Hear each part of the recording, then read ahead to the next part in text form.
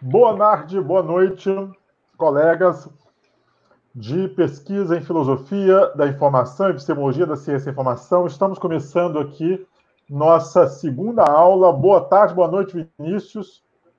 Boa tarde, boa tarde a todos. Tem uma microfoniazinha provável aí do meu retorno.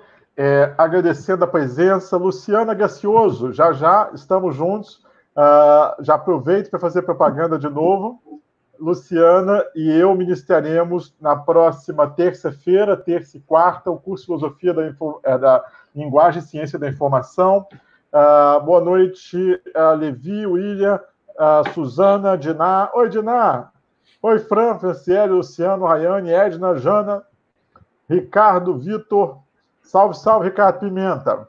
Ricardo, o curso da Escola de Inverno, professor Ricardo Pimenta, ocorrerá o segundo curso ministrado pelo Ricardo na sexta-feira. Se tiver errado, você me corrija, Ricardo.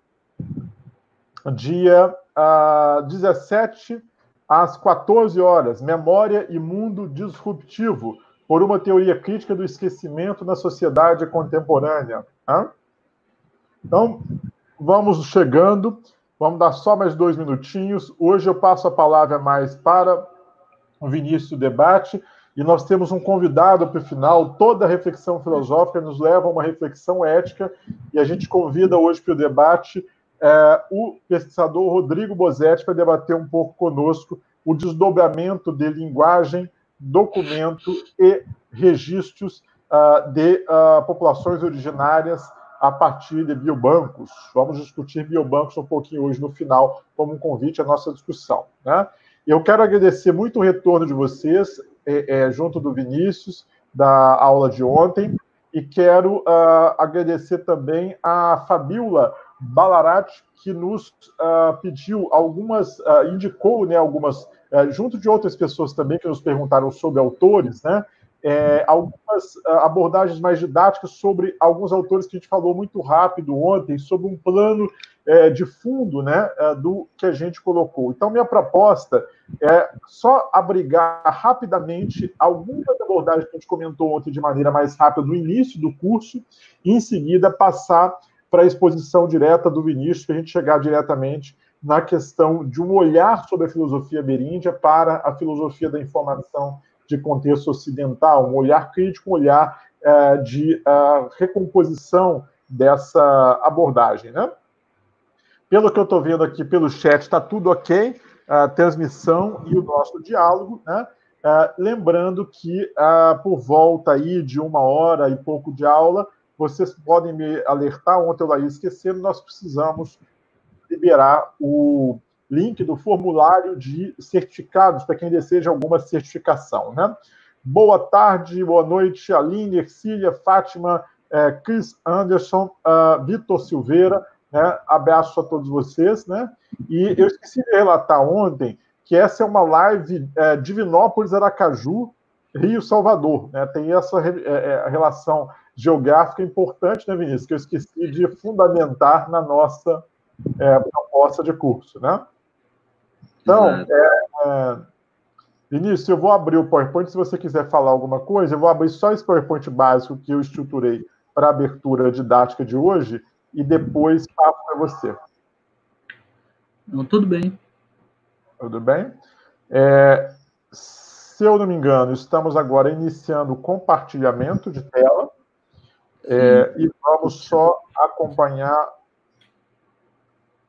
é, um debate muito rápido aqui, retomando a nossa abertura do curso ontem, né?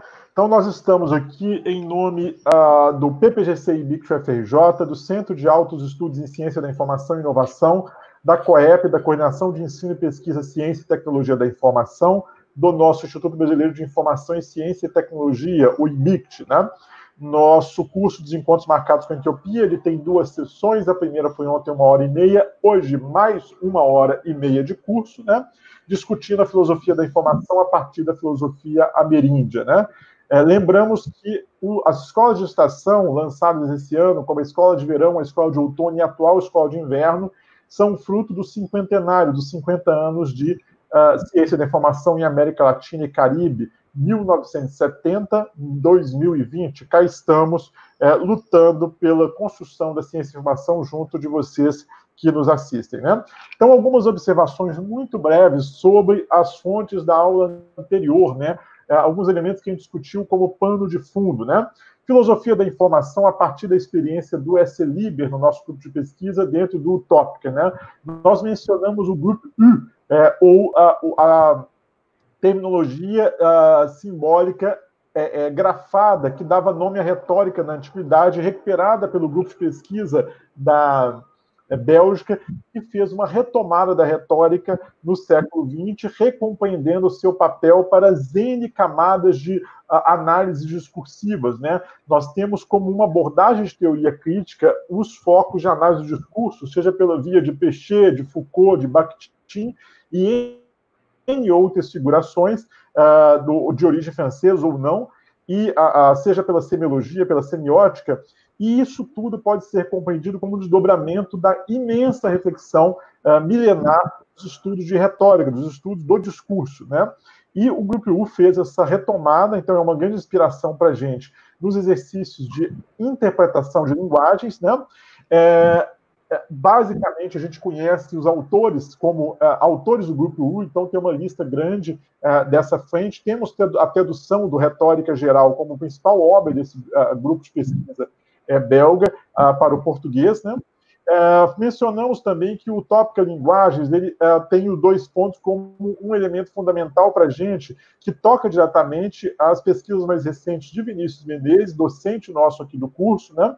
Que é a noção de cola, a noção dos dois pontos, como uma noção de abertura extremamente complexa na filosofia da classificação em Ranganatha, Chiari Ramarita Ranganatha, um teórico fundamental do campo informacional, que navegou da filosofia às várias epistemologias práticas da a, a ciência da informação. Né?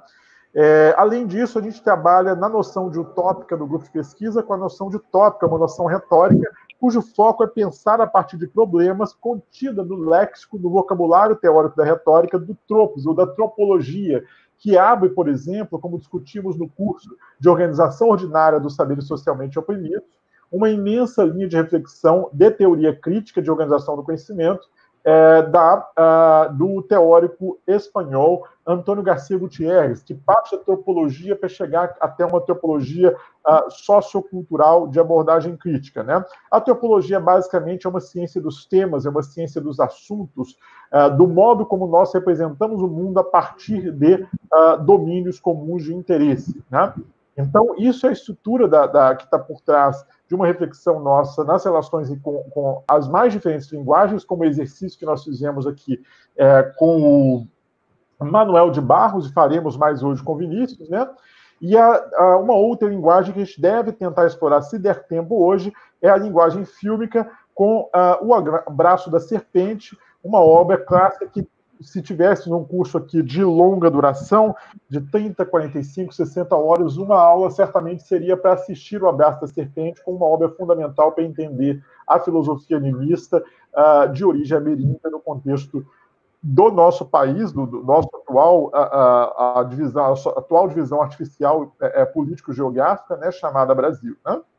Além disso, uh, nós falamos um pouco da abertura que filosofia da informação nos dá. Ela é entendida como filosofia da informação, do documento, do livro, do sinal, da mensagem, da escrita, e a gente pode desdobrar N outros uh, uh, conceitos ou dados que permitem entrar no que a gente, em geral, coloca sob o guarda-chuva da filosofia da informação esse poderia ser também um bom, uh, uma boa tópica para um curso específico, ou seja, como que quem, quem de fato é a filosofia da informação, quem a evoca, né? E a partir de quais, uh, qual semântica, qual uh, sintaxe, é, quais significantes aparecem. Por exemplo, todo o movimento neodocumentalista é, recente dos últimos 30 anos coloca que não existe filosofia da informação, existe filosofia do documento.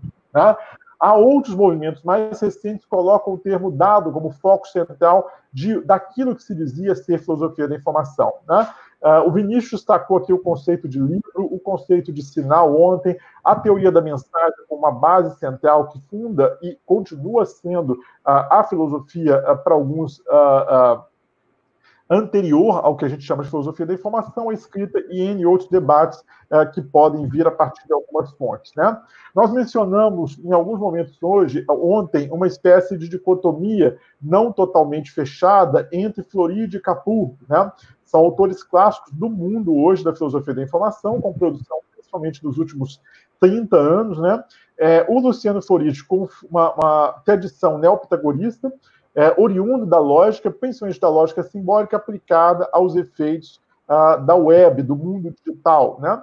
Uh, e, por sua vez, Rafael Capu, oriundo da teoria hermenêutica, que tem por sua base toda a reflexão milenar que nós comentamos aqui da uh, retórica. Né?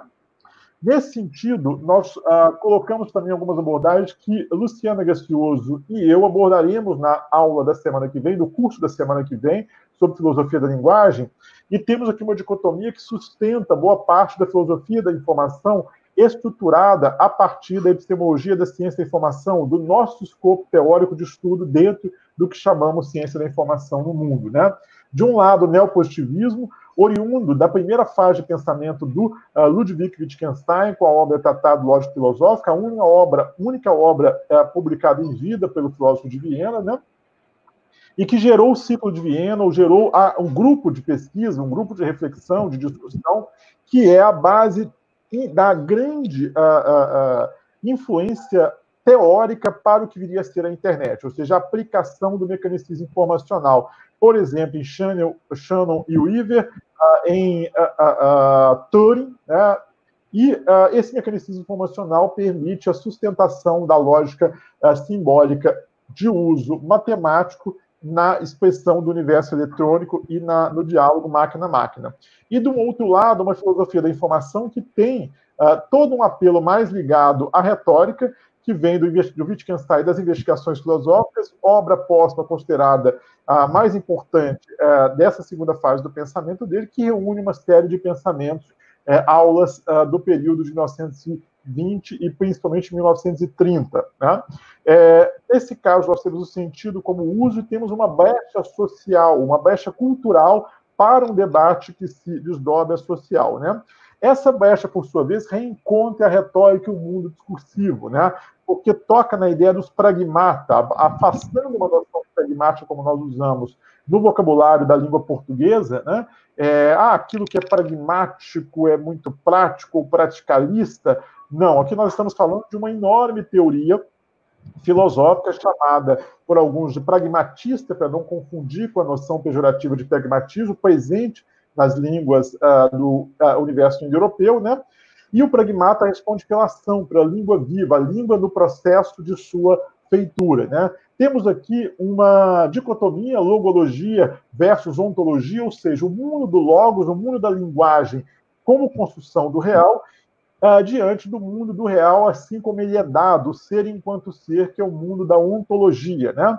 É, e nós mencionamos ontem a talvez a mais importante filosofia produzida é, nos últimos anos, nas últimas décadas no mundo, em termos de reinterpretação da filosofia clássica, o trabalho da filósofa Bárbara Cassin, francesa, que aqui esteve no ano passado, uh, lançando o seu livro Dicionário dos Intraduzíveis, com o trabalho do uh, professor filósofo Santoro, da, de tradução, da Universidade Federal do Rio de Janeiro, a UFRJ, é, nossa parceira no PPGCI, né?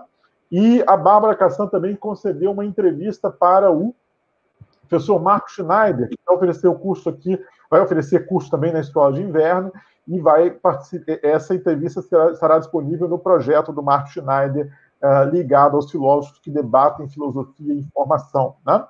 É, é isso. Eu deixei esse, essa estrutura básica só para retomar alguns conceitos centrais do nosso debate. Né?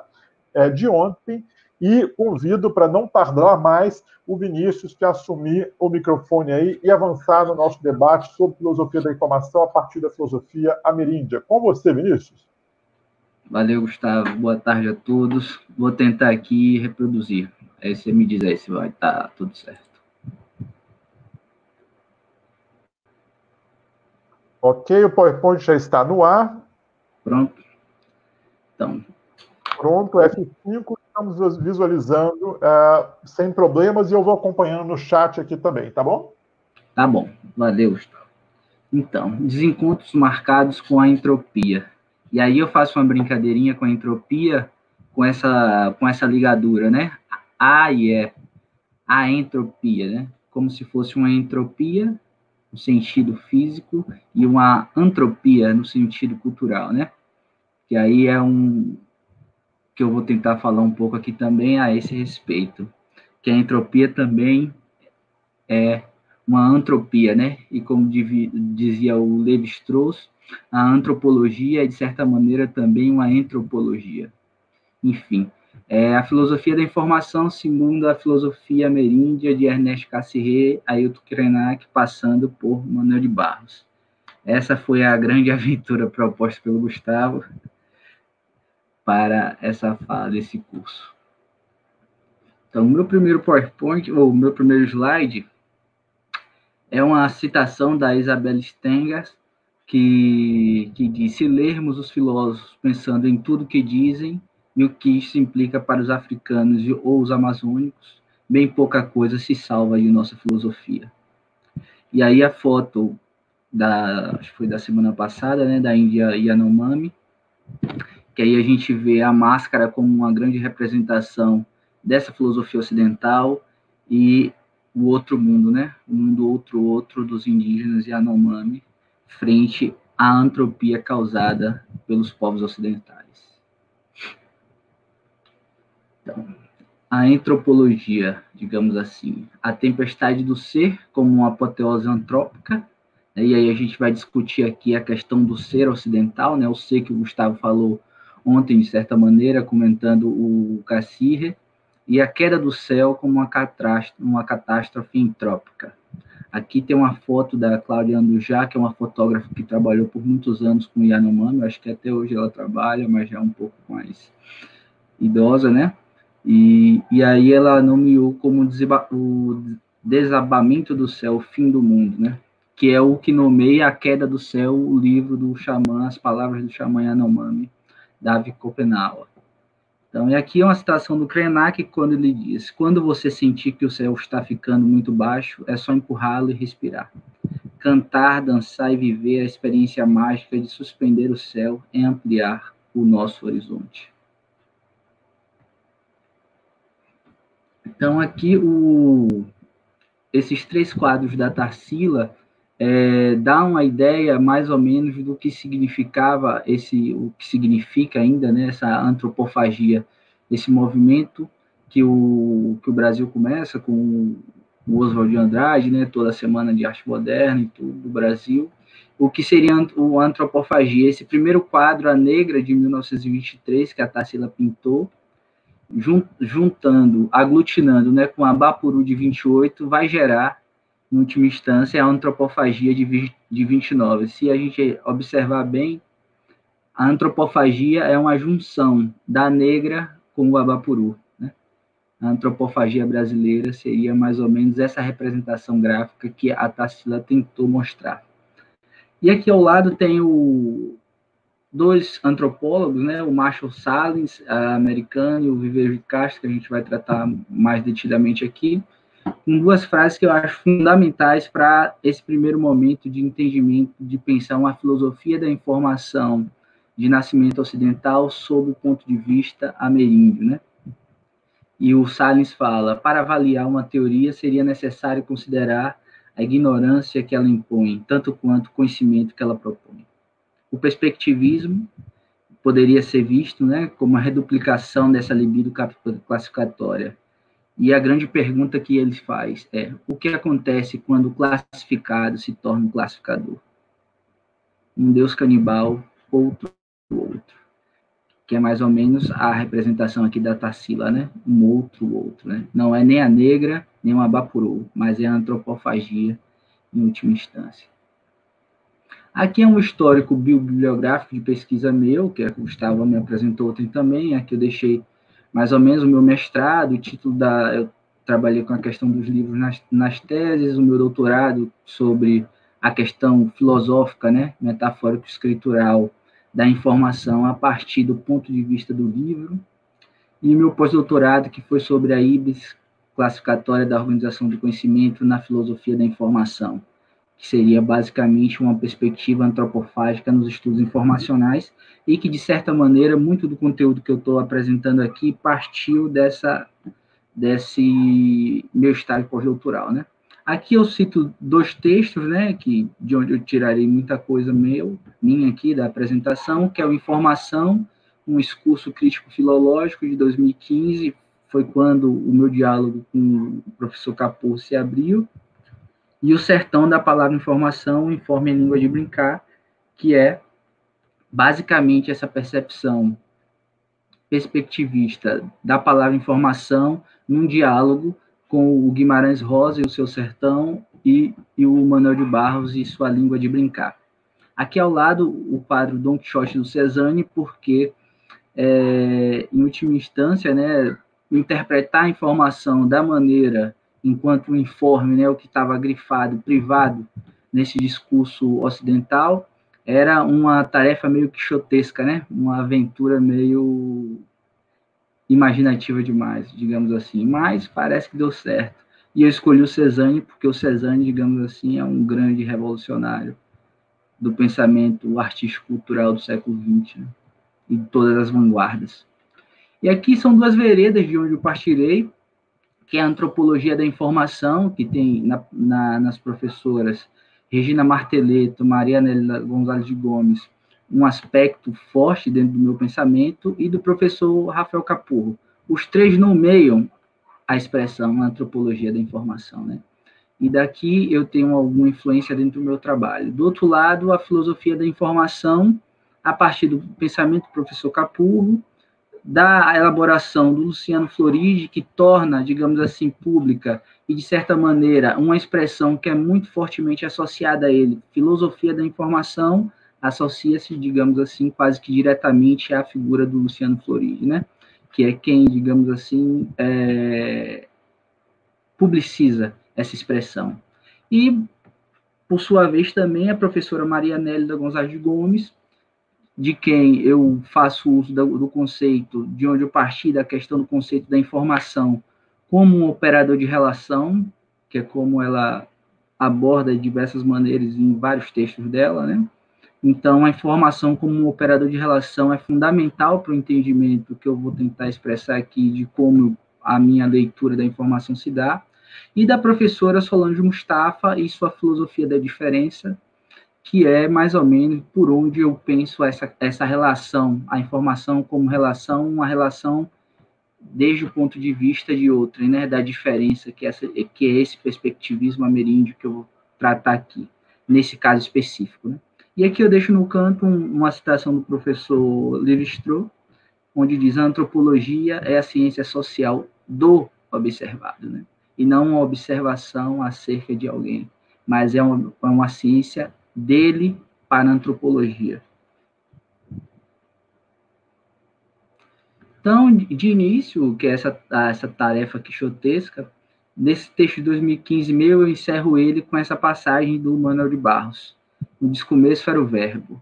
Só depois é que veio o delírio do verbo. O delírio do verbo estava no começo, lá onde a criança disse: Eu escuto a cor dos passarinhos. A criança não sabe que o verbo escutar não funciona para cor, mas para som.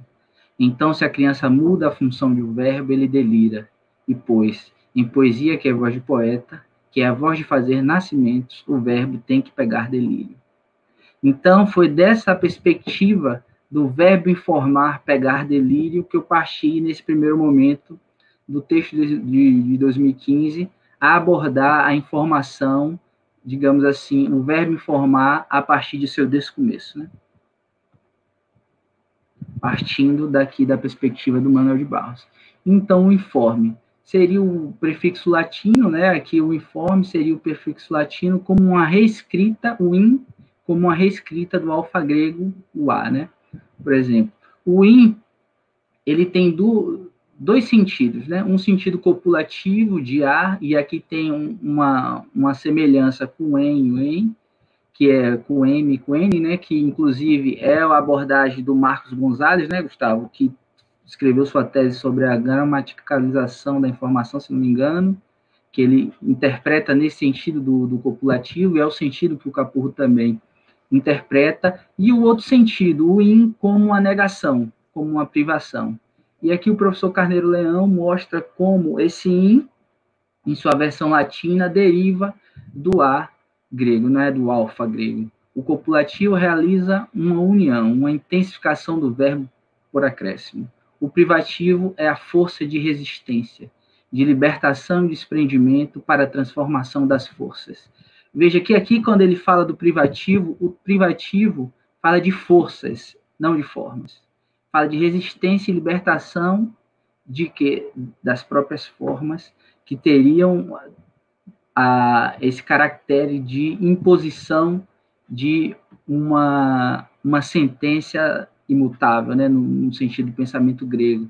E aí a forma é a ideia em Platão, é em Aristóteles, a forma sempre querendo tomar a matéria para se imprimir-se sobre ela, né, um modo de colonização conceitual, digamos assim. Então, aqui embaixo, o professor Carpurro diz, o prefixo in pode ter o significado de negação, como informes ou informitas, mas, em nosso caso, ele fornece o ato de dar a forma a alguma coisa. Ou seja, aqui está escrita a sentença do professor Capur, junto com Yorla, né, mas a gente sabe que esse é um pensamento muito próprio do professor Capurro, que ele opta, em sua história do conceito de informação, narrar a história sob o ponto de vista do dar a forma a alguma coisa. Enquanto in, no sentido da negação, informes, é deixado de lado. Então, a partir desse momento, eu me vi no sentido de pegar esse delírio do verbo e tratar dessa história menor da informação enquanto informe.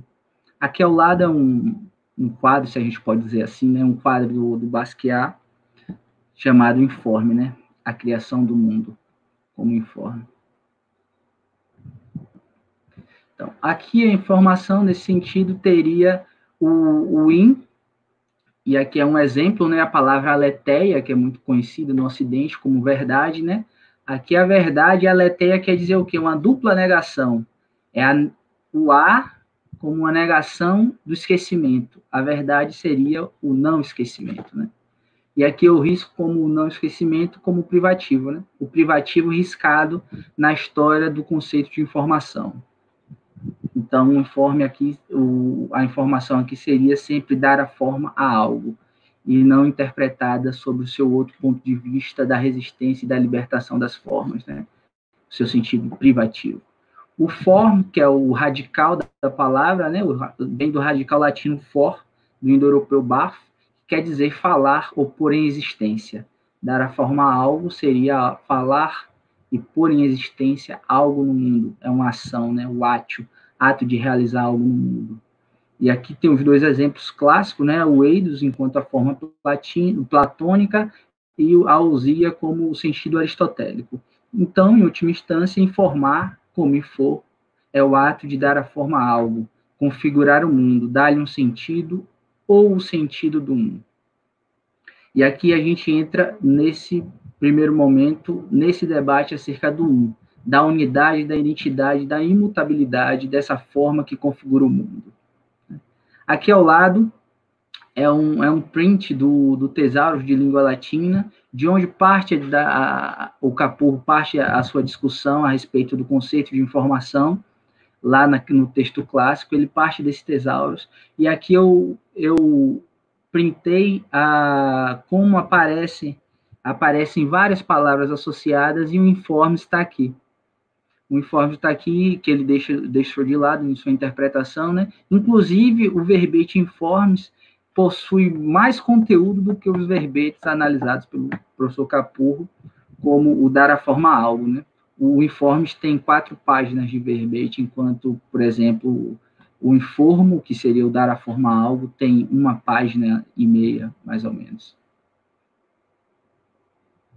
Então, aqui, o informar é o ato de dar a forma a algo. Em Platão, esse dar a forma a algo tem o sentido da reminiscência do nome, da coisa perdida. A coisa perdida é justamente essa ideia desse mundo inteligível, que a partir do momento que nós descemos ao mundo sensível, né, nos tornamos humanos, esquecemos. Então, a tarefa humana na Terra, a sua vida, é sempre uma vida de uma aventura de rememorar esse nome, essa coisa perdida que é a sua ideia, né? A ideia e o mundo inteligível platônico, né? Então, por Platão, falar sobre um, ou seja, é sempre falar acerca de algo, dizer o que é a coisa, a sua identidade.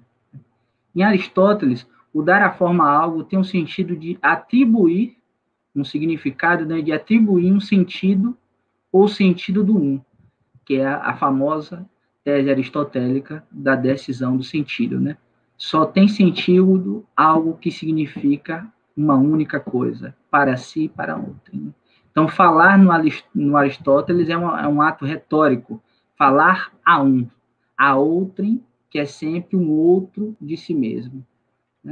Que é o sentido retórico né, do, do, Aristóteles, dizer algo de modo significativo para si e para outrem. Então, nesse sentido aqui, eu relembro com uma passagem do professor Humberto Eco, quando ele diz, para os gregos, o um não era um número, como a, o nosso sentido moderno contemporâneo, né? mas a fonte e a medida de, de todas as coisas. Então, esse um aqui é um sentido de medida e fonte de todas as coisas. O sentido de ordem, tratado ontem pelo Gustavo, e o sentido de identidade, nesse, como aqui eu vou tentar abordar. Ah, aqui do lado tem a. Deixa eu voltar. Aqui do lado a árvore de Porfírio, né, que é uma sistematização feita pelo Porfírio, que é um neoplatônico, mas baseado na obra do Aristóteles. Então, o informo, o dar a forma a algo sob os olhos da decisão do sentido. Aqui é a tese aristotélica básica, né? O sentido não significar uma única coisa é não significar nada absolutamente. Não se pode pensar em nada sem pensar em algo único. Né? Colocaremos, então, a palavra único sobre essa coisa, única sobre essa coisa. Se ele, que aqui é o, o adversário do, do debate aristotélico, né, o sofista, se ele, o sofista, não diz nada, é ridículo procurar dizer em resposta àquele que não sustenta discurso sobre nada, na medida em que, em função disso, ele não sustenta nenhum discurso. Pois um tal homem, quanto tal, é de saída semelhante a uma planta. Ou seja, o não sustentar discurso para Aristóteles é falar em multiplicidade, dizer algo mais que um ou menos que um. É nunca dizer um. Então, esse que fala algo múltiplo, ou que está fora desse sentido unitário entre palavra e coisa, correspondente, né? A palavra que corresponde à coisa, esse, esse indivíduo que é sofista, para Aristóteles, é semelhante a uma planta.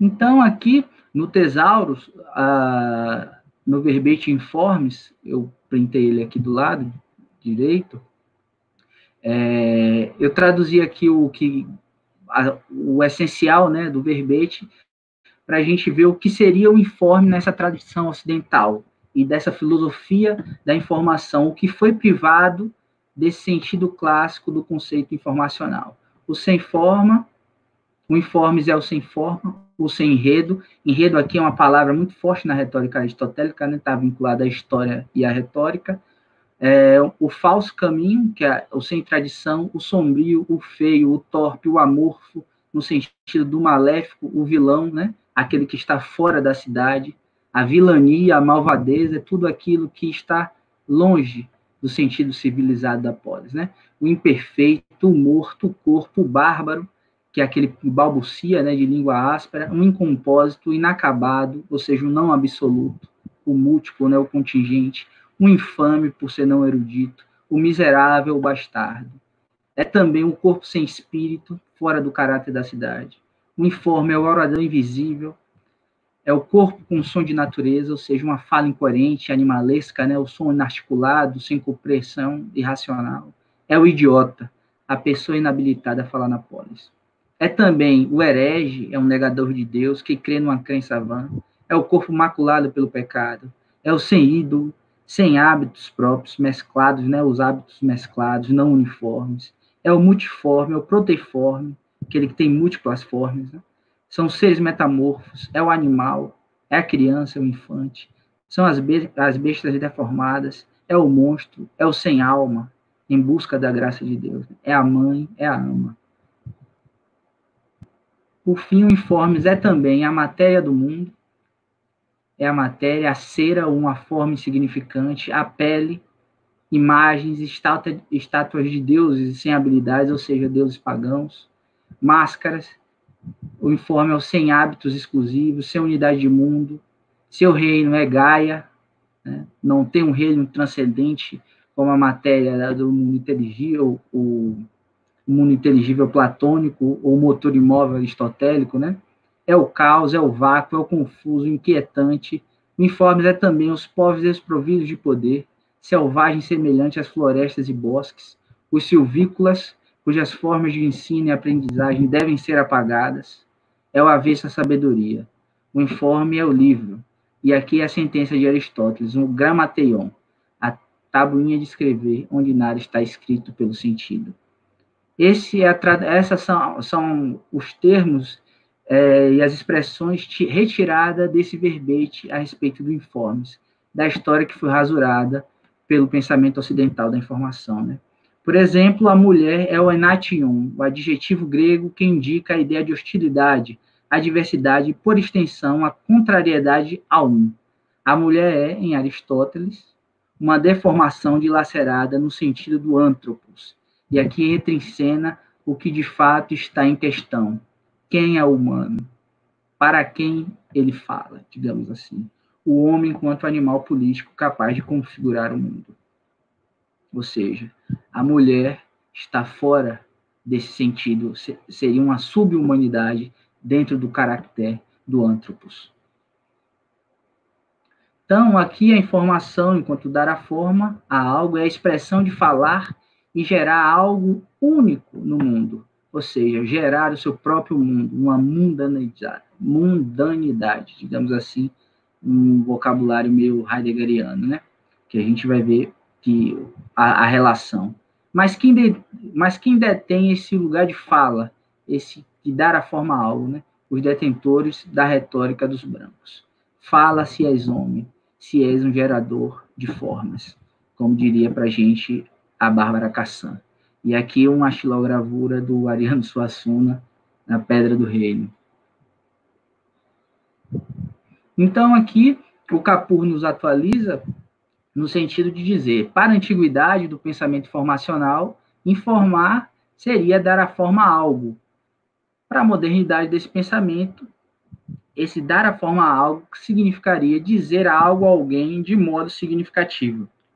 Aqui a gente vê que não é tanto uma modernidade, já que a decisão do sentido do Aristóteles já dizia justamente isso, Dar a forma a algo é atribuir um sentido único para si e para outrem. A unidade e a identidade conceitual, né? Então, aqui o que a gente vê é uma sobrevida dessa colonialidade informacional na história moderna do Ocidente, né? Esse pensamento fundamental, ontologia, exprimiria então o elemento de dominação e sujeição requerido pela formação do mundo humano, do mundo do antropos. E aqui eu coloco a prancha 39 do Varbo, do Atlas Mnemosine, que é justamente o, ar, o que trata dessa conceituação do que seria uma sobrevida, aquilo que sobrevive através dos tempos sem grandes rupturas, né? Ou o conceito de secularização, por exemplo, abordado no sentido agambeniano, que seria a, seculariza a secularização seria como se fosse a ontologia teológica secularizado no mundo humano, e não uma ruptura entre o mundo secular e o mundo, digamos assim, milenar. Então, aqui as sobrevidas, essas sobrevidas desse conceito de informação, a gente pode ver no Aristóteles, né? Livre é o homem que é que o é em vista de si mesmo e não de outro, seja que é sempre uma afirmação de si, da identidade do humano, daquele que dá forma a algo e configura o mundo. No Kant, por exemplo, aqui a gente tem o, o Tribunal da Razão Pura, né? o homem como o único habitante propriamente dito do mundo. Trata-se do poder de constituir a humanidade do homem como um posto autorreferencial de eminência ontológica, imune àquilo que seria o mundo natural para os ocidentais, né? O homem é um animal que necessita de um senhor. É sempre um alto e o senhor do homem é si mesmo, né? ousa ser si mesmo, como diria o próprio Kant em sua, no seu texto visionário sobre o que é o homem e depois, posteriormente, o que é o, o iluminismo. E também a gente tem o Hegel como uma sobrevida, né? a antropogênese como a libertação do homem da angústia do que o ligava à natureza. É uma interação dialética entre o senhor e o escravo que estabelece essa relação social fundamental, baseada em homens e animais, senhores e escravos, civilizados e bárbaros, natureza e cultura. Então, a antropogênica, tese hegeliana, né, é essa ação que começa pelo ato de impor-se ao primeiro outro com que se depara.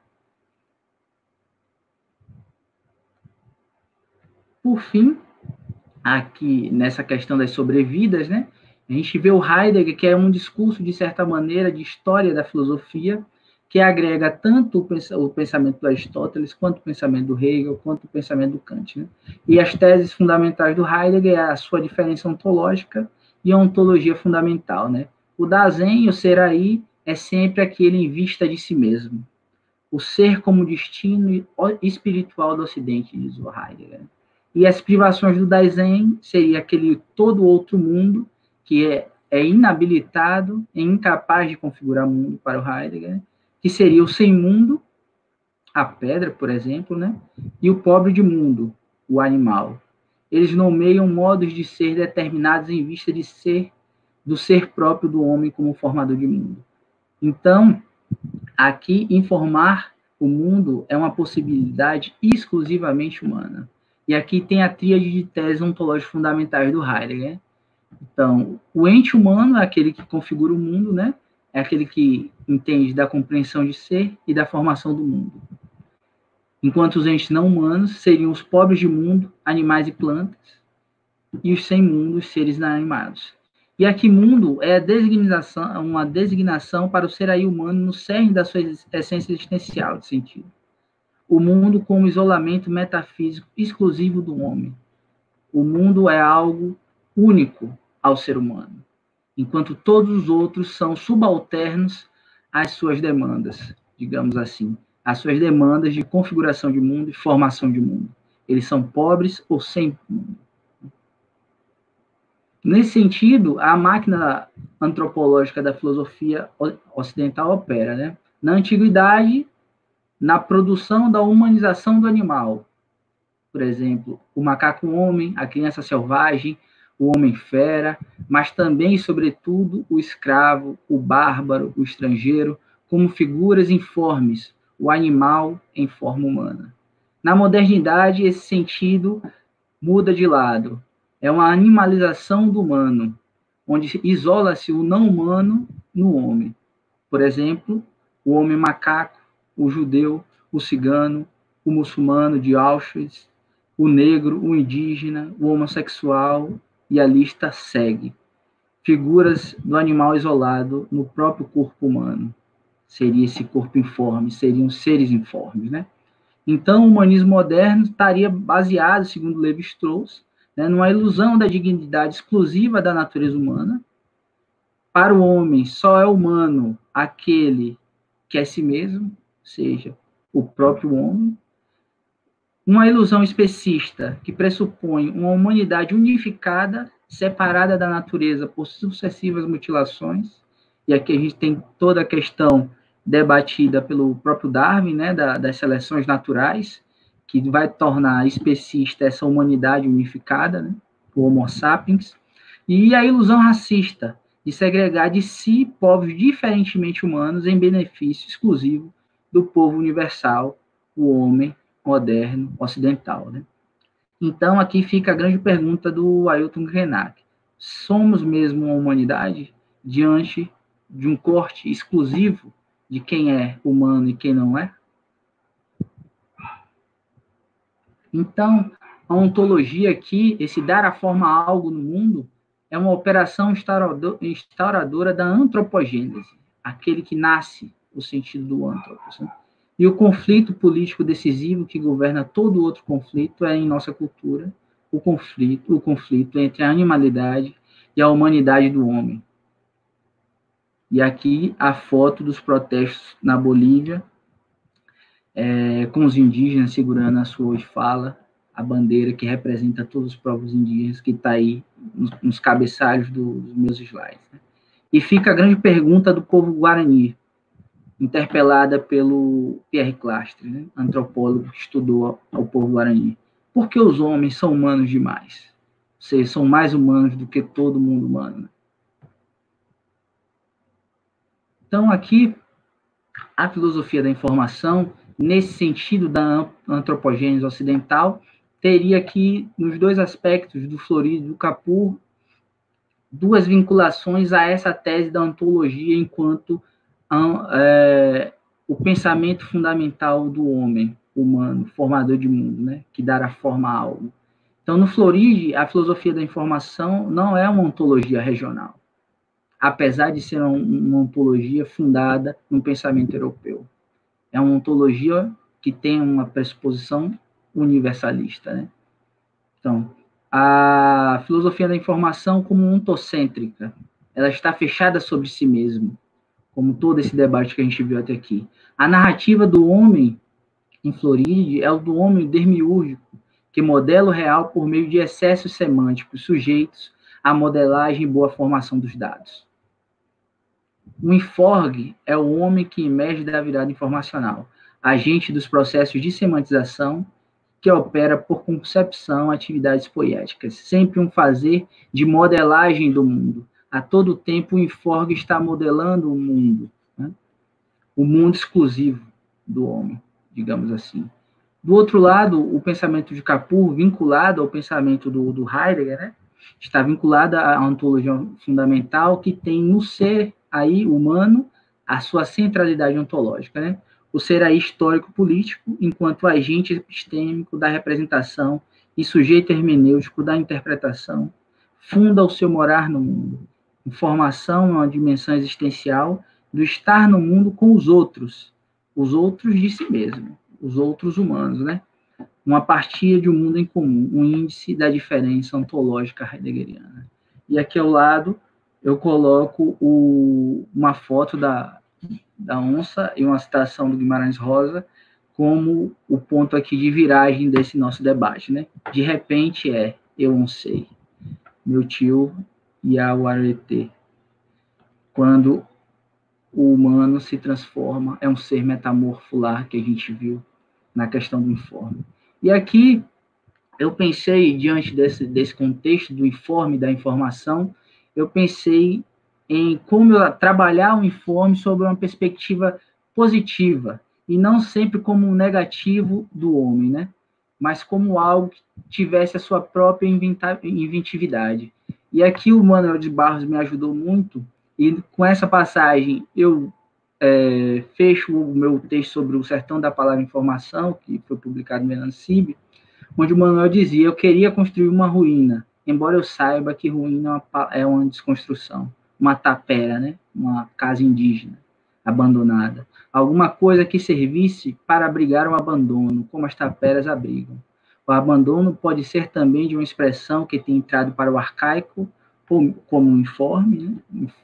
ou mesmo de uma palavra, uma palavra que esteja sem ninguém dentro. Digamos que a palavra seja o amor, né? No meu caso seria o informe. A palavra amor está quase vazia, como informe. Não tem gente dentro dela. Queria construir uma ruína para a palavra amor. Talvez ela renascesse das ruínas. E esse foi o grande ponto que eu me vi confrontado e nessa construção de ruína, eu tentei avançar nesse sentido que a gente vai ver daqui para frente. E aí uma outra passagem do Manuel, que seria é um texto dedicado a um xamã, inclusive, essa passagem do menino do mato, que ele diz: "Eu queria fazer parte das árvores, como os, como os pássaros fazem. Eu queria fazer parte do orvalho, como as pedras fazem. Eu só não queria significar, porque significar limita a imaginação. E aqui o Manuel está se referindo diretamente a Aristóteles. Inclusive, ele cita Aristóteles é, em outros textos dele, né? E com pouca imaginação eu não poderia fazer parte de uma árvore como os pássaros fazem. Então a razão me falou. Veja, não a imaginação, a razão. O homem não pode fazer do orvalho como as pedras fazem, porque o homem não se transfigura senão pelas palavras, e isso era mesmo. Aí ao lado, deixei uma ave me amanhecer, ou seja, ele numa imaginação conce é, conceitual perverte toda a ordem gramatical da razão e da linguagem, né? Ele imagina a língua para outrem, né? Enquanto ave que amanhece ele. Então, aqui, nesse sentido do Manuel de Barros, da viragem, é, quando eu me encontrei com a Bárbara Cassan também, e aqui tem a, essa, a semiofagia da informação, que é um quadro que, que a Cassan faz e aqui eu adaptei para o meu discurso, e onde ela trata a questão do in, a privação, em quatro, em quatro sentidos, né? O dar a forma a algo como uma afirmação, um, era a raiz, né? Uma negação objetiva, que seria um enquanto uma privação, nem mesmo um, seja nada puro, né? O puro nada. Uma negação subjetiva, que seria o enquanto privação no sentido de um nada existencial, tudo, exceto um, ou seja, exceto eu, né, digamos assim, para o pensamento moderno, e uma invenção significante que ela tira do Demócrito, que seria aí o sentido em que eu abordarei a questão do informes. O in o i na frente seria a privação de todo um. E aqui a Cassan diz a linguagem como real, ou seja, come esse sentido clássico que deu sentido, significado à realidade, que seria um. O inho seria a privação de todo um. E aqui o Castres fala a partir do, do pensamento guarani. O mal é o um. E aqui eu encontro nesse debate entre Manuel de Barros, Bárbara Cassan, esse debate de fundo com o Capur dentro da nossa área da ciência da informação. Então, privar a forma de algo é rumar para fora do sentido, para fora de todo um, de toda identidade não ter existência discursiva, segundo o Aristóteles, né? Então, privar a forma de algo para um sentido clássico do pensamento ocidental seria criar seres informes, mulheres, crianças, estrangeiros, monstros, escravos, animais, sofistas, enfim, um sem fim de seres marginalizados. Né? O informe é o saber desses seres socialmente oprimidos. Né? O homem planta, e aqui o, é quando eu parto dessa discussão de fundo da filosofia entre Aristóteles e os sofistas ao pensamento ameríndio, quando o Viveiros de Castro fala o homem planta, que na discussão do Aristóteles é o sofista, não deixa de ser um antepassado à altura do Estupinambá. E veremos. É, o informes é a inconstância da alma selvagem. Né? Aqui, na, em, na, nas crônicas do, do, descobrimento, a gente vê como aqueles predicados atribuídos ao informes no mundo latino é desdobrado pelo viés é, ocidental a respeito dos índios. Né? Os índios são sem forma, são os sem enredo, sem história, né? são os idiotas, são os que têm sons articulados, não falam R's, F's e S's. Né? É um corpo sem espírito, o corpo com som de natureza. Né? Então, aqui a gente vê nesse nessa listagem de predicados negativos a sua atribuição à questão indígena. Então, o indígena aqui, nessa minha interpretação, seria basicamente uma materialização viva e humana, em última instância, que é o que eu defendo aqui, é, a partir de uma perspectiva ameríndio, é uma representação viva desses seres informes. E a inconstância, que é a marca do informe, do privar a forma de algo, né? É a inconstância, é uma constante da equação selvagem. O selvagem é móvel, né? Aqui está um, uma cena da antropofagia no Brasil, é, figurada em gravura, né, pelo Teodoro B. Então, aqui eu interpreto a, essa questão a partir de uma perspectiva menor. Trata-se de ler o livro da vida que vegeta nas ruínas do sentido. Né? O método histórico é um método filológico no qual o livro da vida está na base.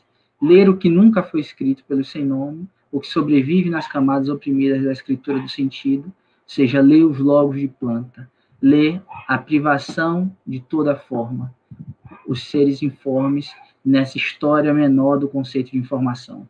Escrever as vidas informes é escrever o que não acontece, no sentido, no único. É, é subtrair o único da multiplicidade a ser constituída. É escrever sempre a menos um, aquele íon da caçã, né? A privação de todo um, de toda unidade, frente à multiplicidade do mundo, né? O ato de privar a forma a algo é a ação de falar e gerar algo múltiplo.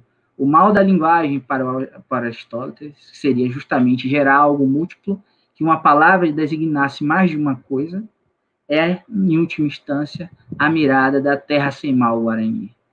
Mas então, quem detém este não lugar de fala, o lugar do informe, do fora do sentido? Os detentores do devir negro, os que denigrem a fala única da polis fala se és marginal, se és um agenciador de matérias e corpos. E aí está uma representação justamente dessa fala. O Ailton Krenak, na Assembleia Nacional Constituinte, em 1987.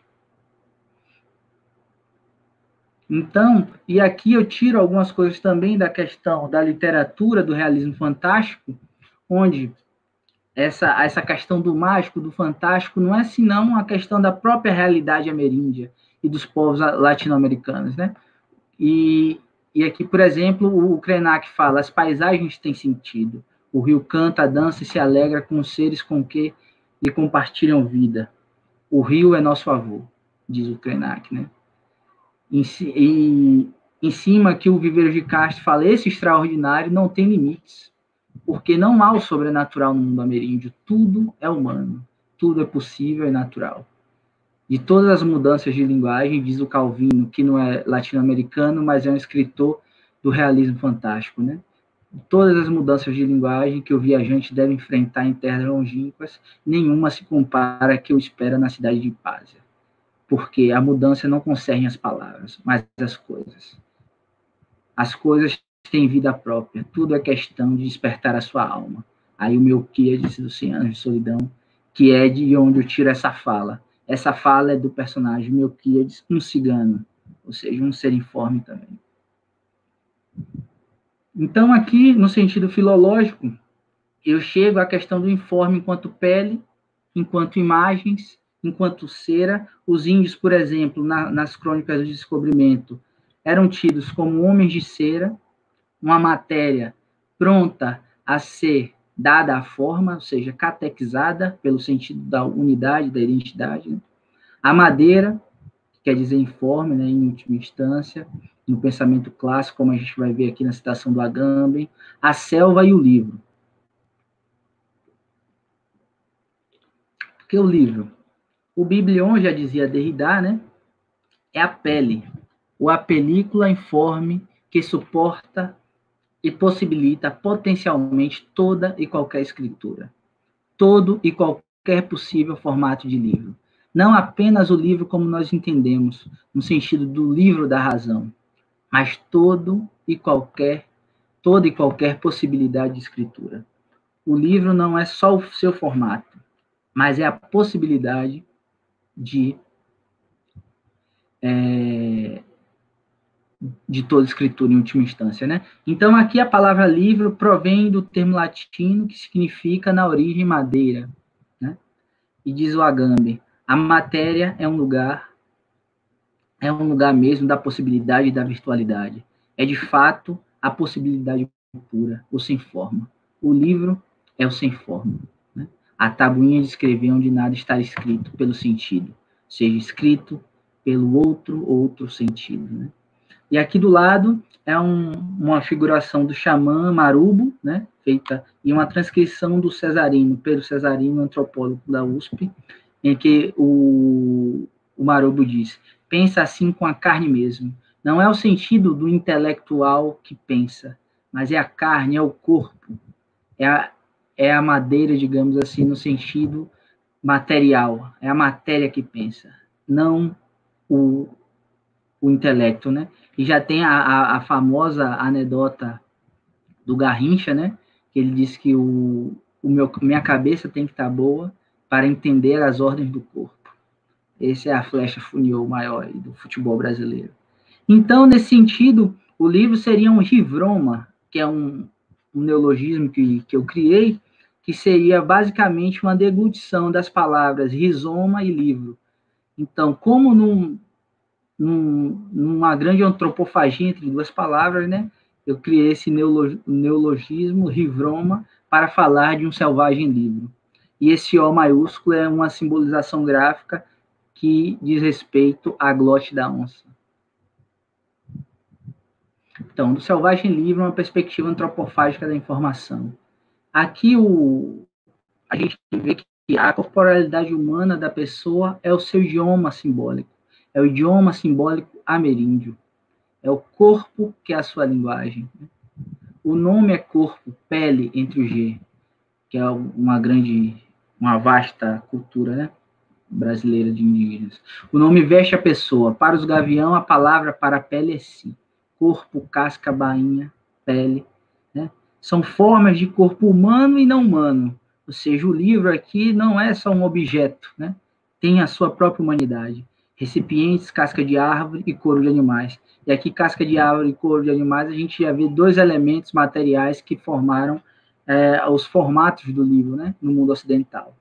E aqui eu tirei, printei, na verdade, a passagem quando o Davi Copenau vai abrir e o Bruce Albert né, vai abrir toda a discussão da queda do céu, em que o Copenau escreve: Eu, o Yanomami, dou a vocês, os brancos, esta pele de imagem, ou seja, este livro, que é minha, que é do povo Yanomami. Aqui do lado tem um motivo, né, um desenho, um grafismo indígena, e que a Elva Lagru fala, uma antropóloga né, é, brasileira, diz: Todo ser que recebe este desenho tem capacidade de ação humana. Ou seja, a escritura aqui tem a sua própria humanidade. E aqui a gente muda, de certa maneira, aquela hermenêutica da retórica aristotélica e, de certa maneira, a hermenêutica retórica do pensamento informacional trazido pelo Capurro ao nosso campo, né?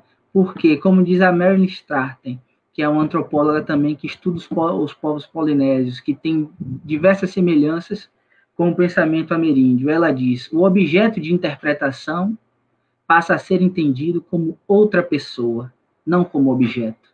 Na verdade, o próprio ato da interpretação pressupõe a condição de pessoa do que está sendo interpretado. A pele como lugar de contato e de passagem entre o interior e o exterior, entre o conteúdo e o continente. É a pele que possibilita a criação de um corpo.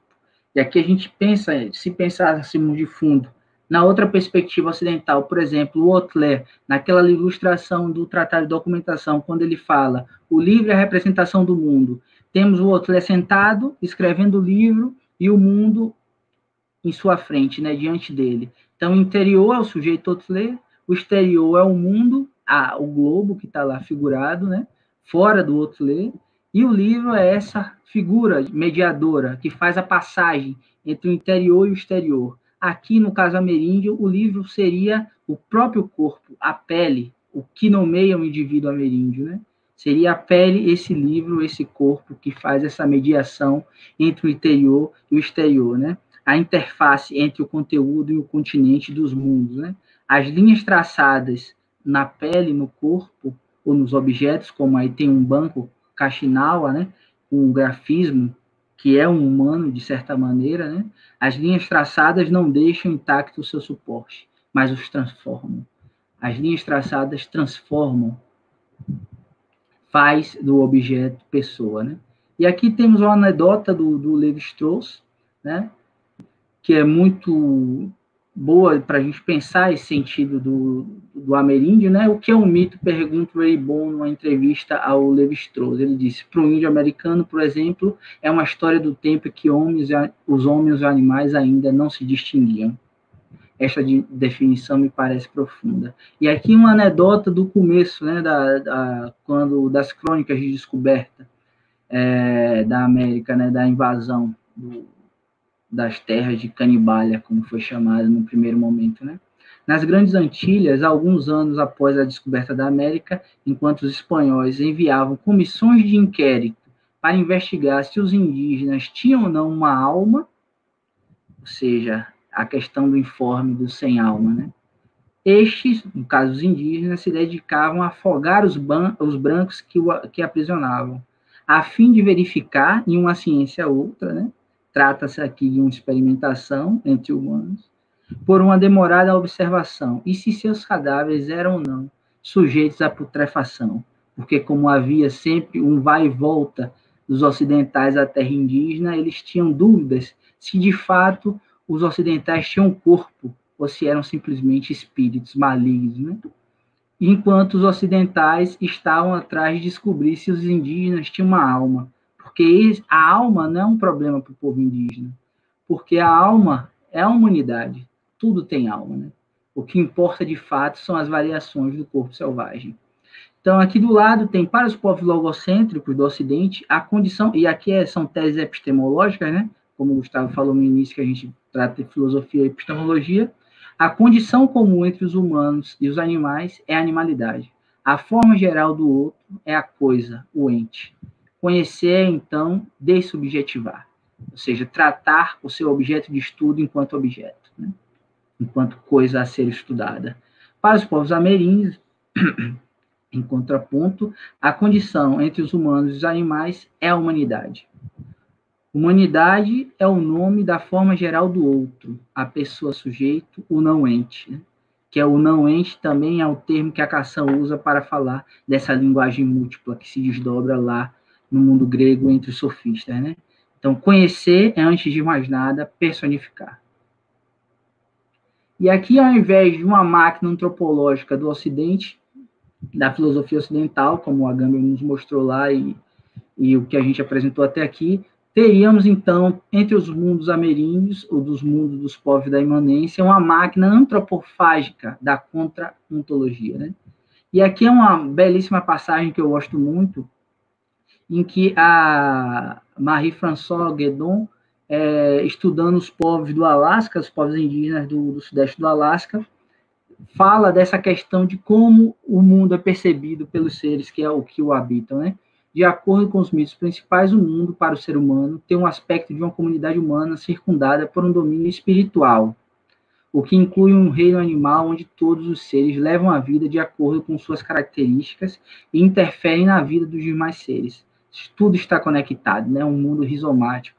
Contudo, se nos transformássemos em um animal, em um salmão, por exemplo, que é o animal lá, digamos, é, muito importante na ecologia daqueles povos, né? Descobriríamos que a gente salmão, ou seja, o povo salmão, é para si mesma o que os seres humanos são para nós. E que, para os salmões, salmões, nós humanos aparecemos como espíritos ou talvez como ursos devoradores de salmões. Seja o inimigo, né, o outro. Esse processo de tradução atravessa vários níveis. Assim, por exemplo, as folhas do algodoeiro que caem no rio Esquena são o salmão da gente salmão. Ou seja, é o, é o alimento do povo salmão, as folhas, né? O salmão da gente salmão, porque o salmão se vê como humano. Então, quando ele olha, um humano olha para o salmão, vê a sua comida. No caso aqui, para gente, salmão, a comida seria as folhas do algodoeiro, né? Não sei o que os salmões seriam para as folhas, mas suspeito que são vistas por essas como somos pelos salmões. E aqui é uma imagem dos espelhos e caminhos dos espíritos tiradas. Essas imagens assim que estão com um pixel meio ruim são tiradas do A Queda do Céu do livro, né? Então aqui se estabelece um perspectiva perspectivismo ameríndio, né? Esse se apresenta como um pensamento da impossibilidade da antropogênese, do mundo exclusivamente humano. O mundo é habitado por diferentes espécies de sujeitos e pessoas, humanas e não humanas, né? Que apreendem segundo, apreendem os mundos, né? Segundo seus pontos de vista distintos, seus corpos diferentes, né? A humanidade é a condição original comum aos humanos e animais. Outrem não é nem sujeito nem objeto, mas uma estrutura ou relação, a relação absoluta. Outrem é a possibilidade perspectiva, ou seja, é o conceito de ponto de vista que está no corpo. Reconhecer no discurso do nativo a posse do sentido de seu próprio sentido e não o sentido do do Aristóteles, né? Não o sentido da identidade, mas o sentido de seu próprio sentido, que é estabelecido pelo corpo que habita, a perspectiva que lhe toma o mundo. Por outro lado, e essas são as duas teses, digamos assim, centrais do perspectivismo, né, do, do Vejo Castro, da Tânia Stolz. O outro seria o multinaturalismo. Essa é uma pequena historinha para crianças, né, da Verônica Stiger, que a, a onça convida o Jaci a tomar um cauim, uma cerveja, né, uma bebida de mandioca. E diz, né, a onça diz ao Jaci, tome, você vai gostar, é um cauim, bebida de mandioca fermentada, disse o jaguar. Mas isso aqui é sangue, não é Cauim, disse Joaci. Claro que é Cauim. Por que ele ia oferecer sangue? retrucou o jaguar. Por quê? No caso aqui, o jaguar, quando olha para o sangue, ele vê cerveja. Enquanto o Joaci olha para o sangue, enquanto humano, né, vê o próprio sangue. Ele, eh, são perspectivas distintas para a mesma palavra, né? digamos assim, um cauim. O cauim é ao mesmo tempo cerveja e sangue, a partir cabe o que vai ser decisivo nessa tradução é o corpo que habita. O corpo do jaguar seria cerveja, o corpo de Joaci seria sangue, né? Então, traduzir é instalar-se no espaço do equívoco e habitá-lo. O equívoco não é o que impele a relação, mas aquilo que afunda e a impele. Uma diferença de perspectiva. Classificar, ou seja, ordenar sentidos, é presumir que há desde sempre e para sempre um equívoco, um desequilíbrio perpétuo como diz o Levi-Strauss, é comunicar pela diferença, em vez de silenciar o outro ao presumir uma universidade, e aqui nós temos a questão da teoria matemática da comunicação, da cibernética, né? Em vez de silenciar o outro ao presumir uma universidade originária e uma redundância última entre o que eles e nós estávamos dizendo. E aí tem o Krenak que diz: devíamos admitir a natureza como uma imensidão de formas, ou seja, a natureza como um informe enquanto uma multiplicidade de formas, né? de seres metamorfos, inclusive. Então, a partir desse momento de apresentação do que seria dar a forma e do que seria o informe, né? o privar a forma enquanto um, um pensamento constituído do mundo ameríndio, e aqui é a imagem que eu falo do que eu falei do né? eu passei a pensar nesse período do, espaço, do, do, do estágio pós-doutoral num, em mapas desclassificados, que aí é um conceito, um conceito do Garcia Gutierrez, né, de desclassificação do pensamento ocidental, então, um pensamento desclassificado do conceito de informação. Aqui, então, como o Gustavo apresentou ontem, eu não repeti, a questão dos mapas do Capurro, né? O mapa físico-ontológico da natureza capurriano tornaria-se, com essa deglutição do pensamento ameríndio, um mapa ontológico relacional, as multinaturezas da cultura, ou seja, os múltiplos corpos do mundo profundamente humano. Né? A carta da representação, que seria a carta da autoconsciência e realidade exterior, seria, tornaria-se né, a carta da apresentação altercognitivista, ou seja, existe ali, como a gente viu naquela ilustração do Xamã Marubo, múltiplas pessoas num só corpo, né? Então, por isso, altercognitivista. E multiverso, ou seja, multirealidades, né? A partir do corpo que habita. A carta da comunicação autômata seria a carta fonte, canal, receptor. Tornaria-se, então, a carta do equívoco controlada. A carta do emissor, deceptor, que é o comutador de perspectivas, né? Que seria o xamã, e o receptor.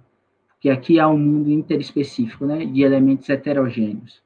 Por fim, a que seria a carta platônica tornaria-se uma carta xamânica, a informação como uma relação humana multidimensional, sociocósmica, entre mundos multinaturais. E aqui eu tiro a questão da, de onde eu parti lá a respeito da Nélida, a informação como uma relação, no caso ameríndio, humana, multidimensional, entre mundos naturais. Aqui do lado tem uma figuração do, do né? o livro é a representação do mundo, e aqui embaixo, dois motivos canibais da onça, né? Como se as onças aqui tivessem, de alguma maneira, querendo deglutir esse, esse livro e fazer um livro ou outro, né? O livro do povo ameríndio, dos seres informes. Aqui, por fim, estou é... chegando no final já. A carta cognitiva, cognitiva da imaterialidade do Information Man, que é uma expressão do Horvath, Information Man como se fosse o homem, o homem econômico do, do contemporâneo, né, da sociedade da informação, esse homem da informação tornaria-se uma carta altermundialista de múltiplos mundos, do Information Woman. E aqui é uma homenagem ao Oswald de Andrade, né? A questão do matriarcado versus o patriarcado, que entram em confronto aí nesse pensamento indígena latino-americano. É, a carta hermenêutico-retórica do Capur, né, Capurriano, a carta hermenêutico-retórica da partilha de um mundo comum tornaria-se a carta ameríndia da humanidade comum, porque aqui a gente vê a questão do mundo nesse sentido da hermenêutica retórica capurriana, que é um diálogo Aristóteles Heidegger, o mundo seria uma exclusividade do homem. E aqui essa deglutição que dos mapas desclassificatórios que eu propus visava não não o um mundo comum, mas uma humanidade comum que habita múltiplos mundos. Né? Aqui uma xilogravura, gravura do Arlindo da Iber. O sertão é dentro da gente, uma homenagem ao Guimarães Rosa. Então, por fim, adiar o fim do mundo, né, como diz o Krenak, o Devi Sherazar de Ailton Krenak pregam o fim do mundo como uma possibilidade de fazer a gente desistir dos nossos próprios sonhos. Há quem não veria sentido na vida se não fossem formados por sonhos. O meio de informação é o meio onírico. Aqui é uma fala do Krenak, né, para os povos ameríndios. A minha provocação sobre adiar o fim do mundo é exatamente sempre poder contar mais uma história. Se pudermos fazer isso, estaremos adiando o fim do mundo. E aqui, por fim, o mito Capon, né, de criação no mundo, que diz: No começo do mundo havia uma grande pilha de livros e cada povo retirava dali o volume específico. Os Capu, Capon foram os últimos a retirar. Não havia mais para eles livros inteiros, mas apenas as folhas que caíam dos volumes quando eles foram retirados. A reunião de todas essas folhas, ou seja, um livro múltiplo, dava surgimento ao livro dos Capu, um rivroma, um livro selvagem. Então, adiando o fim do mundo, eu continuo minha pesquisa nesse sentido aqui, o rivroma, o livro selvagem, uma perspectiva antropofágica, a informação jamais foi moderna, uma controvérsia epistêmica, a mirada xamânico comunicativa do livro canibal entre o emissor, receptor, deceptor, uma filosofia da relação, o Colom, que trata de classificação, desclassificação e inclassificação, uma performance da teoria, o conceito, não conceito e o conceito, né? barroco, um mapa sofístico semiofástico da informação, entre o informal e o informe, o informe, né? a privação de toda forma, materi materialidade, imaterialidade, materialidade, mot aqui no sentido francês de palavra, né? palavra material, entre documento, informação, livro, e o canibalismo de ouro, que é um texto do do me Cortza, é, que ele chama canibalismo de ouro, né? Ou um antílope olhou para mim, seja o antílope do projeto da documentação da Brie, como animal natural, não documento, porque o documento é uma produção cultural, né? E aqui há uma cisão entre natureza e cultura, nem estrela, nem antílope são documentos, são natureza, documento é cultural. Então, aqui também há essa discussão de fundo do dar a forma a algo e de quem pode formar o mundo, né? Formar o seu mundo. E aqui uma imagem do CD do Belchior, em homenagem ao Gustavo, Divina Comédia Humana, a música, né? Enquanto houver espaço, corpo e tempo e algum modo de dizer não, eu canto. E é isso, obrigado. Aqui o mundo é possível, outro mundo é possível, né? Uma arte zapatista uma xilogravura aqui do nosso Nordeste, o forró dos bichos e os violeiros. Obrigado. E aqui por fim, Costa Leste de Canibalha, ano de 466 do, do calendário antropofágico, que é o calendário proposto pelo Oswald de Andrade a partir da deglutição do bispo Sardinha, da privação do um que pisou na América e fez toda essa antropologia. E até esse momento. Obrigado. Maravilha, Vinícius. É, você me escuta, Vinícius? Sim, eu ouço, ouço. Show de bola. Então a galera está recebendo. Muito obrigado, Estela, Carla, Adriane.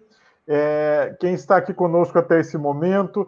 É, Brisa, obrigado pelos comentários. Brisa, Luciano. É, Adriano, Rose, Vicente, Joana, Nete, Olinete, Tauana, né?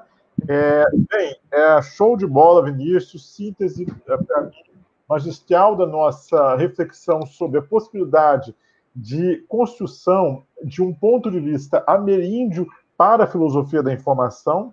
Essa é uma experiência, como nós falamos, utópica e, ao mesmo tempo, uma experiência da ética intercultural da uh, uh, informação estabelecida pelo uh, Rafael Capurro, que a gente mencionou muito aqui no nosso contato. Né? É, nós já estamos agora com cinco minutos para terminar. Obrigado, Rosali. Estamos aqui com a nossa mestra, o supervisora de Vinícius Menezes no, no estágio pós-doutoral, Rosali Fernandes de Souza. Né? É, muito obrigado. Jean, Vânia. Olá, Vânia. É, e nós temos, é, eu queria colocar, dar tempo de passar para vocês um clássico do nosso tempo, que é o Abraço da Serpente. Como disse, nós teríamos uh, aqui um convite para uma aula só de hermenêutica desse filme, que nos ajudaria muito a pensar a questão da, das formas simbólicas, uh, das formas complexas uh, ameríndias até a, as formas epistêmicas ditas complexas pelo discurso vertical ocidental, né, e as formas religiosas como formas pacíficas e de contato com a religação com o mundo e as formas religiosas como formas do massacre, de destruição, incluído uh, as culturas ameríndias. Né? Então, eu vou tentar passar aqui o, o, o nosso uh, filme e o nosso convidado de hoje, o Rodrigo Bozetti, para falar um pouquinho conosco de ética, uh, populações ameríndias e biobanco, está na aguardo aqui, vai entrar na sala já já. Tá bom,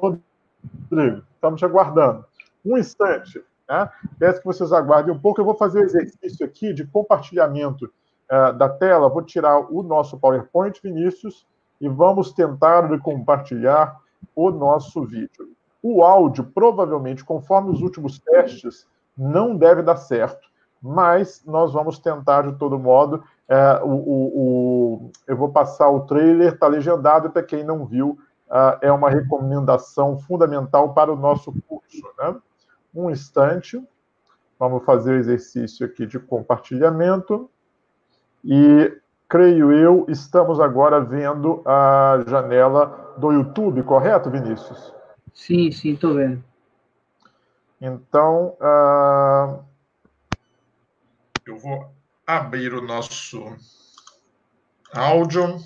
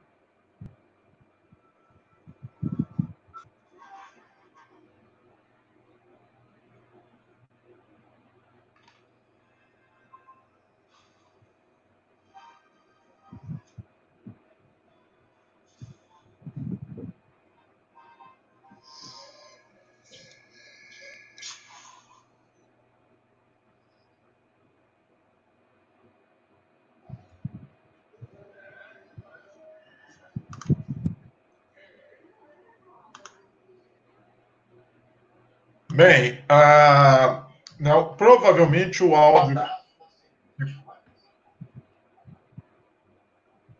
Só um instante. É, começou aqui o comentário do filme.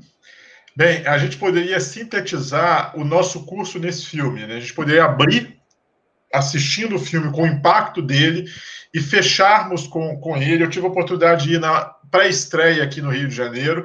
É um filme impressionante que, que coloca essa marca como uh, fundamento, uh, a marca ameríndia como fundamento de uma outra visão de mundo, mas nos coloca diante de toda a tragédia que a filosofia da informação uh, nos aponta como estrutura. É, básica é, do massacre, né, da, da, forma como essa filosofia veio uh, como marca colonizadora e uh, certificadora de uma verdade única uh, sem arestas. Né? É, a Luciana disse aqui que sem o som ficou até mais impactante. Né? Obrigado, Luciana. É, é um convite para a gente. Fátima, a Fátima está pedindo um e-mail do Vinícius, eu vou reproduzir aqui, tá, Fátima? é, e vou mandar para vocês também, né? O e-mail do Vinícius com os textos, né? Então, eu vou passar esses contatos aqui, aproveitar, vou puxando já, desde já, e cumprimentando e agradecendo a presença de Rodrigo Bozetti. Boa tarde, Rodrigo, está na área. Dá um alô para a gente aí, Rodrigo. Esse seu áudio está aberto.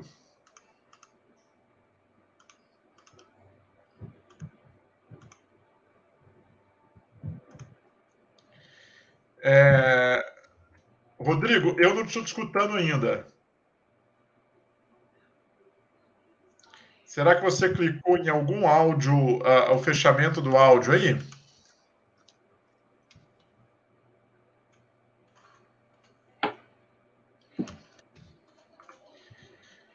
Ótimo, ele deu uma, uma, saída. Olha, o contato do professor Vinícius está aí, tá bom? contato para. Gustavo, uma Já. coisinha que eu queria falar também, porque o, o Túlio está aqui, né? Que existem do, ao menos duas maneiras né, de fazer essa interpretação e essa inclusão desse mundo esquecido, desse mundo informe, digamos assim porque pela via da representação, né, pela inclusão desses povos indígenas em nossos meios, nossos artefatos ocidentais de representação do conhecimento e, e da informação, e é um trabalho de representação, a própria bibliografia que, que o Túlio, juntamente com o Daniel e, o, e a, como é o nome da, da garota? Esqueci. Aline. Aline, fizeram é um trabalho de representação inclusiva, né, e o meu trabalho aqui nesse sentido é, é, um trabalho de perspectivação, que é um outro modo também de pensar a respeito desse, dessa questão ameríndia, né? Que é colocar o pensamento em, digamos assim, em alteração, em transformação ao nosso pensamento ocidental.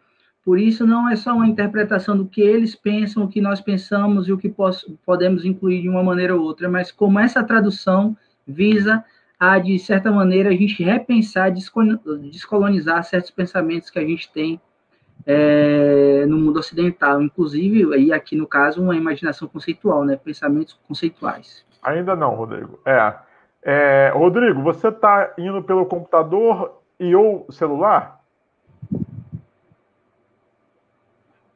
É. Engraçado que a gente realmente está tá com o áudio coletado pode ser da sua máquina, mas pode ser do software. Agora, o software aqui não está indicando para mim, só o computador, né? Você é, quer tentar pelo celular, saindo? Você sai e clica pelo celular, pode ser? Então, vamos lá. É, então, eu estou olhando aqui. Vinícius, eu te cortei, você quer complementar? Não, não, eu só queria falar assim que são dois modos desse pensamento descolonial, né? ou decolonial, enfim, é, de tratar essa, essa questão ameríndia via representação, que é incluir esse pensamento, esses, esses saberes socialmente oprimidos em nossos modos e nossos artefatos de representação do conhecimento, e também nessa questão que eu apresentei aqui em, em específico, pensar conforme a ciência do observado, né? Pensar conforme um, um indígena, o que o um indígena, digamos assim, é, leria ao abrir os nossos livros, os nossos artigos ah. científicos, aí as nossas o... formas de representação. É. O Hugo, obrigado, Hugo. Hugo está comentando aqui, brincando com Spinoza, o que pode uma tal teoria? Hugo, dentro das nossas experiências é, é, é, teórico-etimológicas, né, teoria nada mais é do que um discurso sobre Deus, né, um discurso sobre Tel. Então, toda teoria deriva de uma tentativa de religar-se com Deus. Né? Isso é uma perspectiva clássica ocidental que, a, que o positivismo tenta esconder, mas chega até a filosofia. É, diga aí, Rodrigo. Oi. Agora. Tá me ouvindo? Bem. Era só uma questão do ah, dispositivo. Ótimo, era problema do, do é, computador mesmo.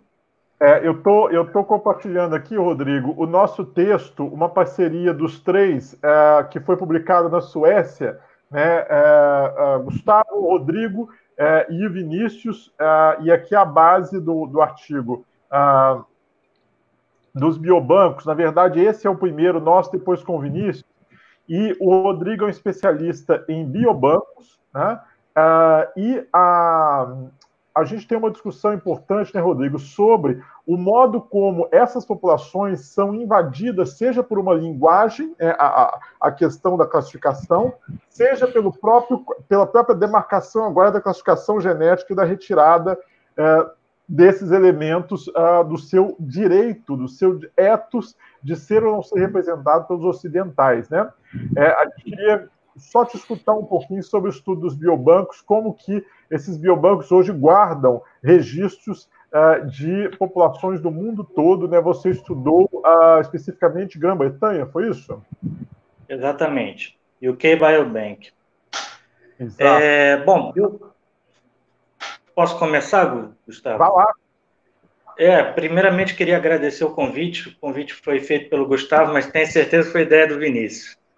Mas é, biobancos realmente não são um termo muito conhecido, é, até muitos profissionais da saúde não conhecem, é algo muito próximo da área da medicina, e são basicamente lugares que guardam é, amostras de seres humanos vivos. O que seriam isso? Normalmente é amostras de sangue, é, urina, pode ser é, tumores, e o objetivo desses biobancos é realizar pesquisas com essas amostras, né? Essas amostras, basicamente, é, quase todos os biobancos derivam o DNA dessas amostras. E qual é a justificativa de existência desses, dessas instituições? Né? É, é uma justificativa financeira.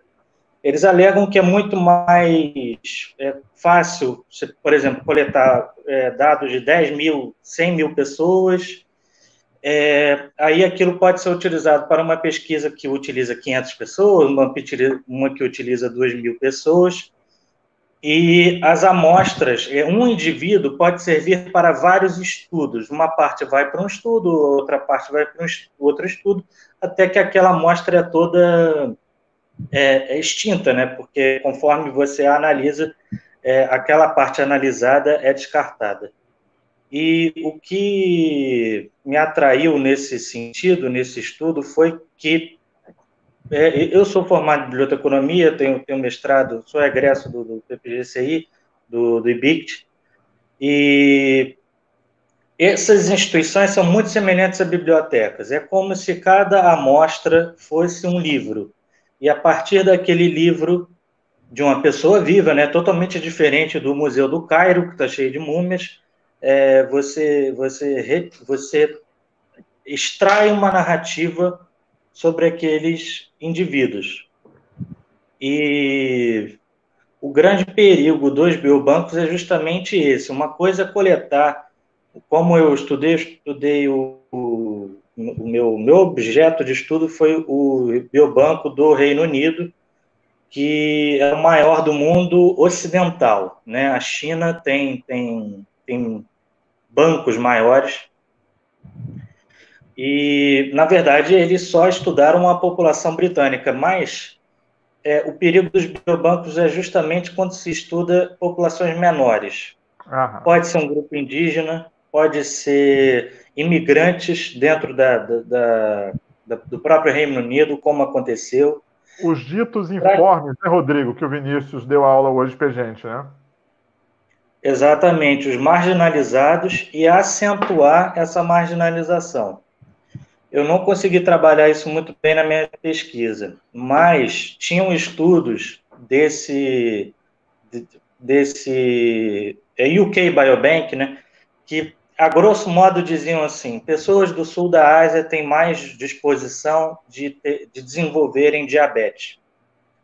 Então, nunca era a partir do branco, nunca era a partir do, dos, dos, dos povos europeus, é, que tem uma característica também dos biobancos, a maioria deles, sobretudo na Europa, nos Estados Unidos é diferente, mas os biobancos eles são é, voltados para uma nação. Então, existe o biobanco da Estônia, o do Reino Unido, o da Suécia, que é o maior de todos.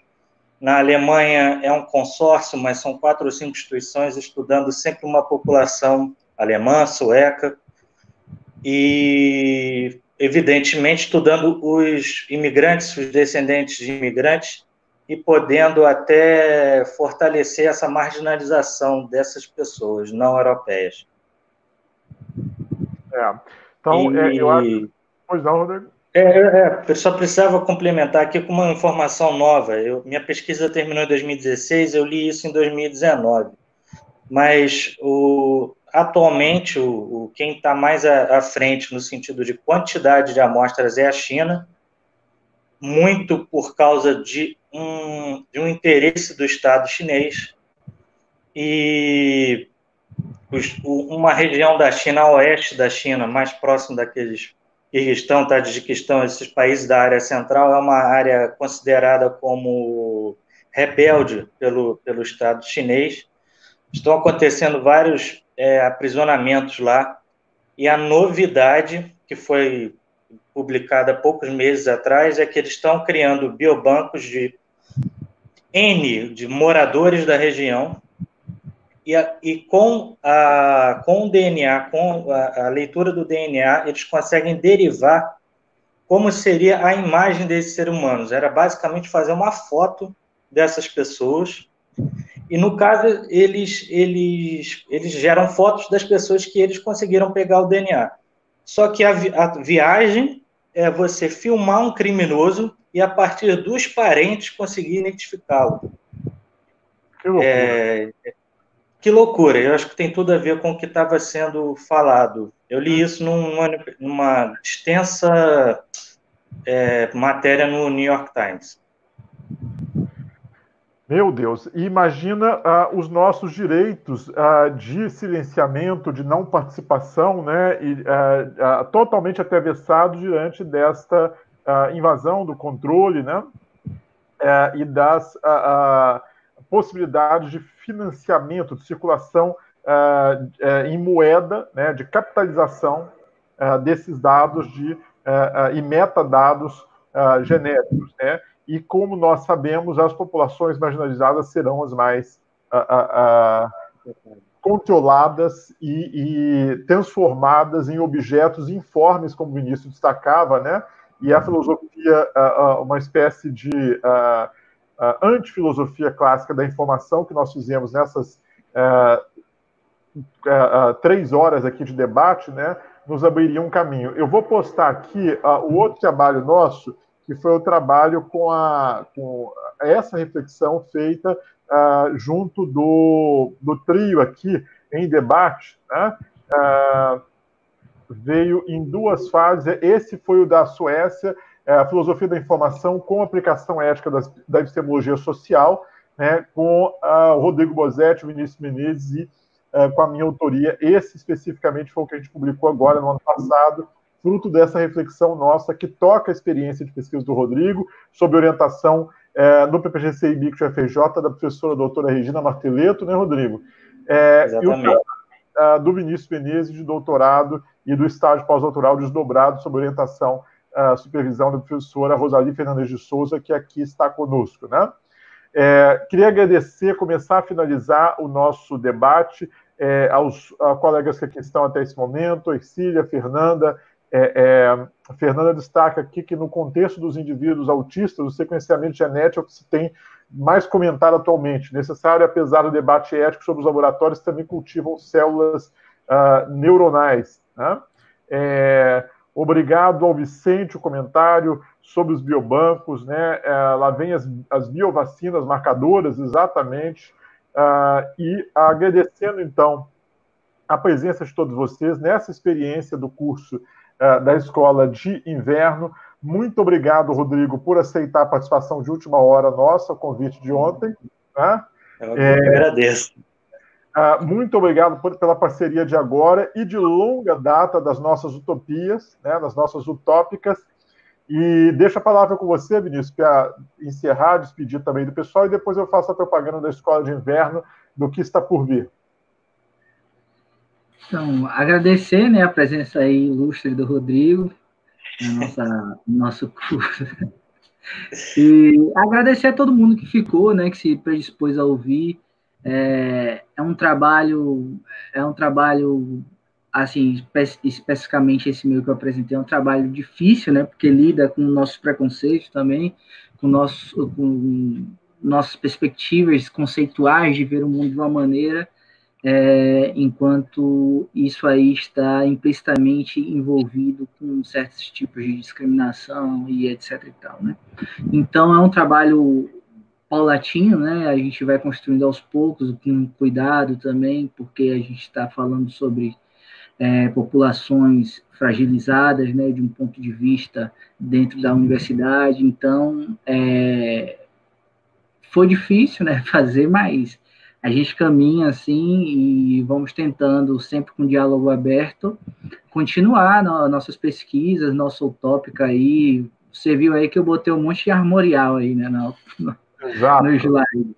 Aí, então é isso, eu gostaria de agradecer especialmente a professora Rosali, né, que me recebeu, todos que conhecem a Rosali, é, não, é inefável, né, como diz a filosofia ocidental, é sem palavras. É, agradecer muito a, a acolhida e, e, seu convite também, né? Assim, método Glauber Rocha. Vamos fazer e dar um, um, uma margem, um espectro de discurso de Cassi a Krenak, vamos fazer.